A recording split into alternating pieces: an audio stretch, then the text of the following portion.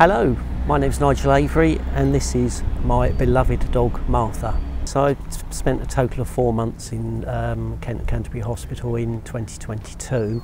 Uh, it was a very dark time for myself and the family.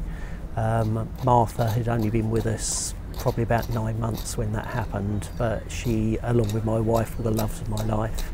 Uh, and I found that her coming to visit me really motivated me to get better and gave the whole family a moment of light. So I was here when Nigel was a patient and uh, yes we, we encouraged uh, Martha to come because I know Nigel was very much messing her and uh, we know from what his wife was saying that uh, Martha was also missing Nigel and it, the difference in him when she came to visit for the first time was notable. You could see how much more it encouraged him to progress with his physiotherapy, it encouraged him just in every aspect it lifted his mood which is a really big big thing for um, patients in intensive care. They get very depressed very easily. Um, so to have something uh, like your dog come and visit it just makes such a huge huge difference. So yeah it was really beneficial for him.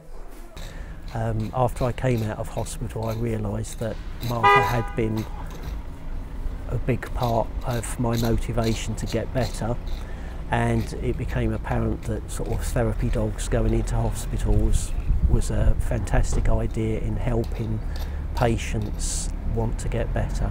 So we looked into the possibility of Martha qualifying as a therapy dog, uh, approached a charity called um, Therapy Dogs Nationwide, completed the paperwork and went through the training process for Martha to take the assessment, which she passed with flying colours.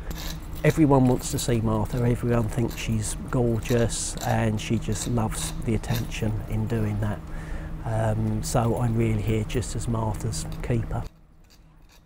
Well, I think the, the benefits to seeing Martha and Nigel coming back now into intensive care for other patients is just, it's phenomenal. They, they also get to see that you can actually survive intensive care, which often seems as uh, a patient in intensive care, it doesn't seem always plausible that you can make it through the other end. So it's, it's really, really important to give people that hope. Um, and it's a little bit of normality as well. I, I mean, there's lots and lots of research out there that um, pets and therapy animals make such a huge difference, not just in intensive care, but in hospitals in general. And a couple of weeks ago, we finally did our first visit back into the two wards that I'd spent all that time in. Um, and I was amazed the positive impact it had not just on patients but also the staff who loved to see Martha and we've just completed our third visit Martha loves it and we're loving it.